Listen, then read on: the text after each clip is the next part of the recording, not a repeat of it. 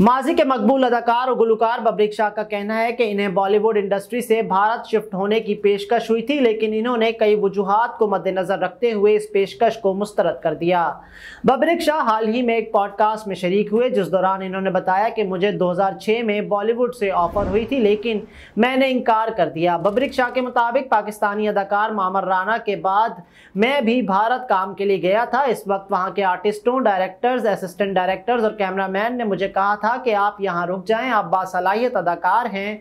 हम आपको स्टार बना देंगे, आपको फ़िल्मों में बतौर हीरो कास्ट किया जाएगा।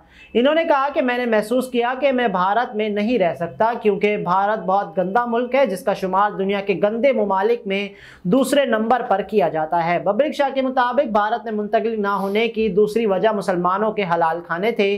तीसरी वजह भारत में होने वाले फसादात, क्योंकि वहाँ अमन नहीं है। एक वजह यह भी थी कि भारतीय हुकूमत हमें ना कोई पासपोर्ट इशू करती है और ना ही हम भारत में किसी से शादी कर सकते हैं, ना ही घर खरीद सकते हैं।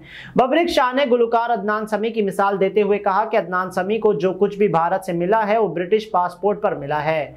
भारत पाकिस्तानी पासपोर्ट पर किसी को पासपोर्ट भी जारी नहीं करता। दूसरी अहम वजह, अदनान समी गुलकार हैं और भारत के लिए गुलकार मजबूरी हैं। वो सालाना उनतीस जबानों में 2000 फ़िल्में तैयार करते हैं। इन फ़िल्मों में 10,000 गाने बनाए जाते हैं। लिहाजा राहत फ़तेह अली खान आतिफ असलम और अदनान समी सब का काम भारत में चल जाता है।